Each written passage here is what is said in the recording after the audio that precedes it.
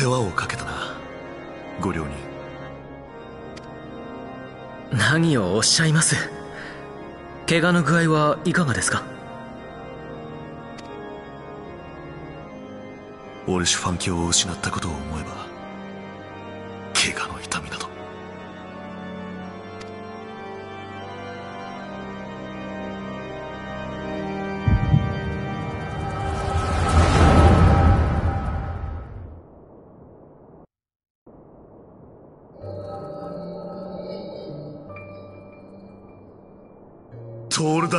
裏切りこそが全ての発端であり正教はその真実を隠し偽りの建国神話を作った。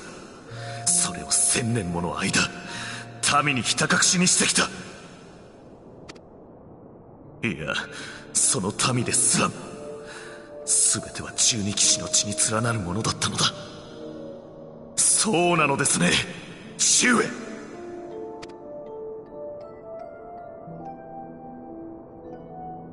いかにして知り得たのかについてはあえて問うまい。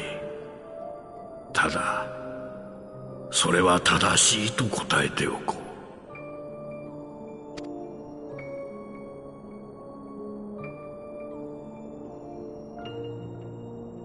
イシュガルド建国の祖であるトールダン王は配下十二騎士を率いてラタトスクを騙し討ち僧帽を奪って食らい人知を超えた力を得た。それは紛れもない友たる竜への裏切りだ。ニーズヘッグが怒り狂ったのも無理からぬこと。その後の顛末はお主も知る通り。7日7番にわたる激しい戦いの末王は死に十二騎士の半数ほどもまた討ち死にした。だがニーズヘッグもまた倒れ二つの目が生き残りの騎士たちの手に渡ったのだ。誤算だったのは両目を失ってなお邪竜が生きていたことよな。奴はフレースベルグの目を借り受け蘇ったのだ。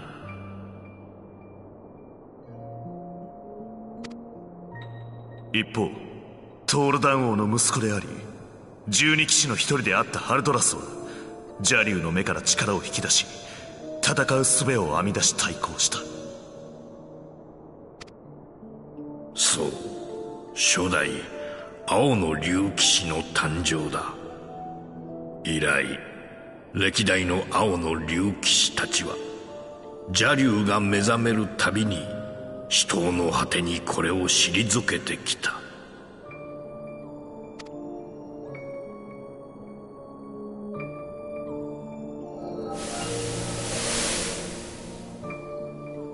さて我が息子よ。ここで問おう。果たして父が犯した罪は子が償うべきだろうか。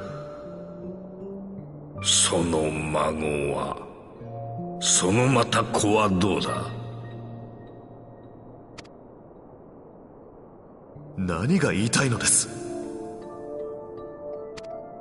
人の命は短い一代でその罪をあがなえぬというのならいつの世代まで償いを続けねばならぬ。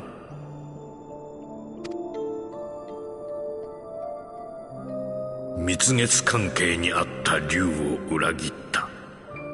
王と十二騎士の行いはまさしく罪よな。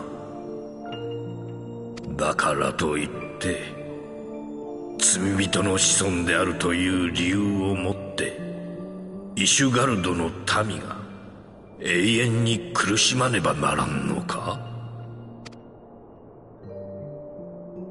わしにはできんよ。父祖の罪のため我が子がイシュガルドの民が殺されてゆくのを黙ってって見過ごすことなどな。竜は悠久の時を生きる存在。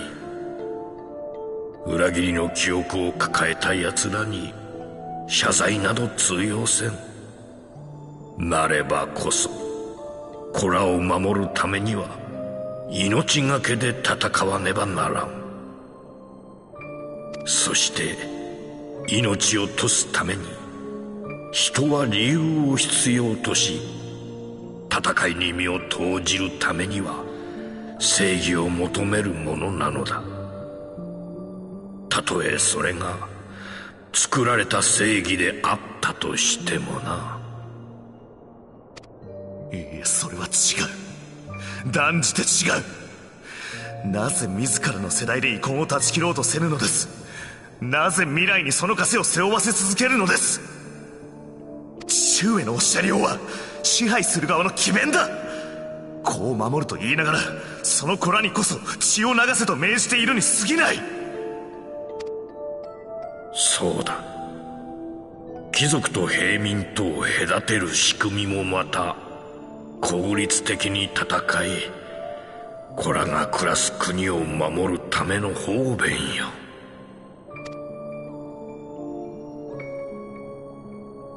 千年後謝罪が何になろう。お主の言っていることは赤子の道理に過ぎぬ。ではと戦で父を夫をそして子を失ったためにそなたらの家族は偽りの正義のために死んだのだと。それが真実なのだとそう伝えるのだな。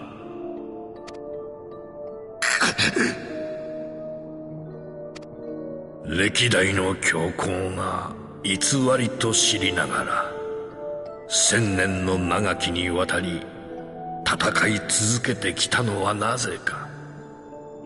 どうやらお主にはまだ見抜けてはおらぬようだな。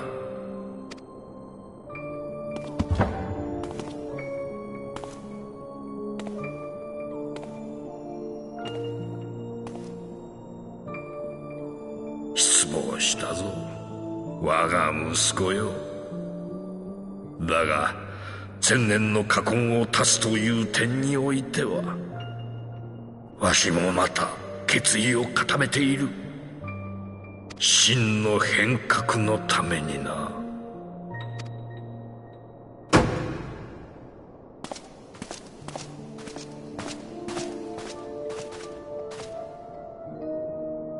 そやつは地下牢につないでおけ。他に真実を知り得た者がいないか。よくよく調べることも忘れぬようにな。御意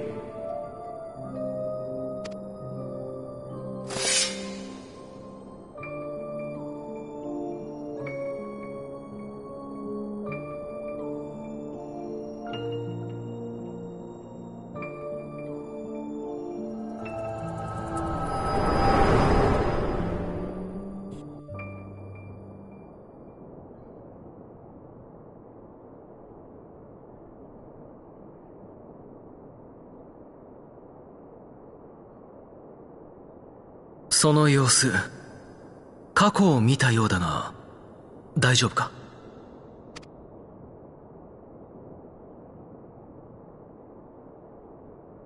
これが超える力。その能力。星の光が君に宿した力なのだな。今君が語ったことが全てだ。私は上の。いやトールダン七世の言葉にこれ以上切り結ぶ刃を持たなかった。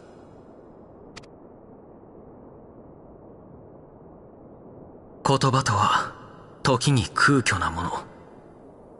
人の意志こそが真理を貫くのだと私は友に教えられました。しかしその言葉が気になります。歴代の教皇が千年戦争を続けた理由と真の変革。その点については私も考えてみた。教皇庁でまみえた蒼天騎士たちは人知を超えた力を見せた。確かにオルシュファン教を倒した際のゼフィランの力は異様なものでした。建国の神話に歌われるトールダン王の円卓に集う12人の騎士たち。ナイツ・オブ・ラウンド。彼らは聖なる力を帯びていたという。歴史は人によって綴られ宗教は神話を作り出すやがて人の思いで作られた嘘は人々が望む物語に変わり偽りの真実となる。まさか！氷の巫女がその体に芝を宿したように彼らもまた己の身に伝説の存在を降臨させたとすればまさに万神。すなわち神殺し。なんということだ。飛空艇で逃げ去る際教皇はこう言い残した。魔大陸と。それが何を示すのかは分からない。しかし万神の力に手を染めた者たちを放置することもできない。そうだろう。彼らを追わねばならん。強行いや万神。ナイツ・オブ・ラウンド。